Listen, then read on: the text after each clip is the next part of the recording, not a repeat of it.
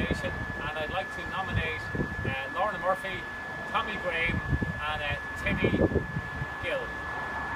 And I'd like to thank everyone for the six nominations. I can't remember all six of them, but thanks, guys. I thought it was home and dry, literally. And uh, I want to nominate Fergus Brennan from Mondello Park, John Morris from Mondello Park, and Mark Kavanagh from Mondello TV. And I want the three of them to do it live next Sunday on Mondello TV after the Adelaide Masters. Let's go. Go for it. Oh!